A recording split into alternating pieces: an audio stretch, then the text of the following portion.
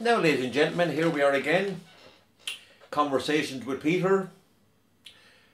I have Father Joe Power back with me, and today we're going to explore mm, character, personality of our Saviour, Jesus Christ, and the question a lot of people in more almost every photograph we see, he has his fingers like this.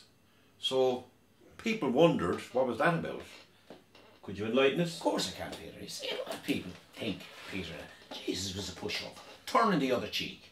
He might have turned it once or twice, but then he say, hold up, stop, go no further. You get away with it once or twice is free. Third time you pay for it. Oops. Oh, I want, there'll be no pushover. Uh, if I was to say to look at someone nowadays that would be, made I think would be like Jesus, Clint Eastwood. Make my day. Well, well, well, well that type, day. that type of stuff. You see, there's a very old story about Jesus and St. Peter, and they were out walking in the cornfields one day. So Jesus sat down and he was meditating for a while, and St. Peter said, uh, Look, he said, Jesus, I'll head into town. He said, I'm starving. He said, I'm going in for a cake. He said, and a bottle of Coke. A bottle of Coke. A Bottle of Coke, yeah. So hang on a now, Father, I have to stop you there. Would I be right in saying the Coke was only, what, 60 years old, 60 years ago? You wouldn't have written saying that, yeah. So- but you no, you're getting confused. You get you're talking about Coca Cola. I'm talking about the Oh. old biblical drink, Coec. Coke. Coec. So he Coec. said, I'm going in, just the way he would have said it, I'm going in for a, a, sandwich or a, an old cake and a bottle of Coec. Right, So so anyway, so St. Peter went in and uh, Jesus was finished his meditation. He came in and, can I stop? Would you have called it cake at that time? I, I don't ever remember but for the gen- words the- cake in, in the, we're talking to something that was like cake or, or, Uh, or well, it's really more or less. But I'm just, I'm gonna, into cake. I have to put into Oh, yeah. modern terms. oh, oh, modern oh, terms. yeah, yeah, yeah. So anyway, he went in and Jesus came in.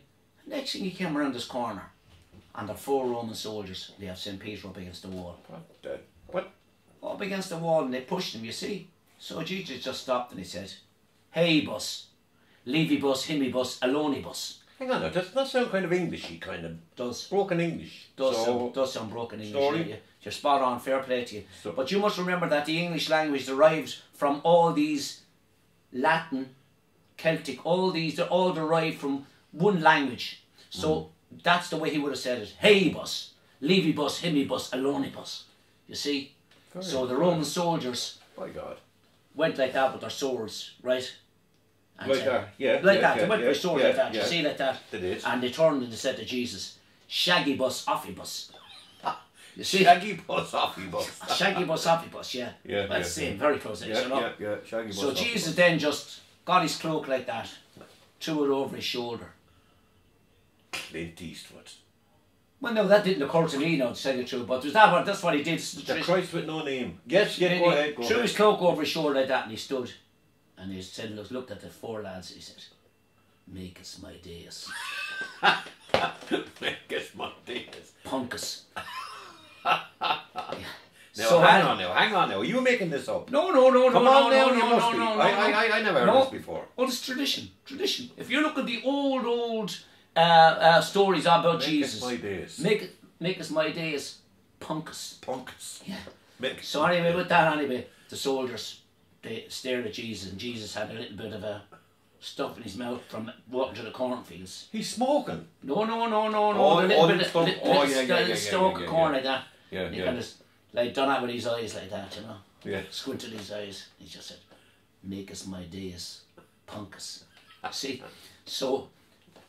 Anyway, the, your men taught better. They recognised something very, very powerful I about wonder this man. Clint Eastwood hear this story?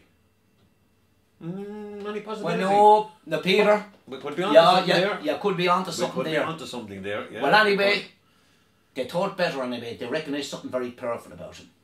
And they turned on their heel and they were walking. And as they turned like that, Jesus shouted at him, Hey, bus! You see?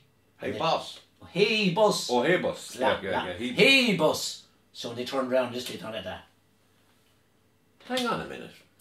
And that's why, Go way out of it. that's why, this they, In the in the fo- and that's why he had his, and that's St. Peter I was telling everyone about. smoking gun. Oh, for You know? God's sake! There you go. Simple explanation.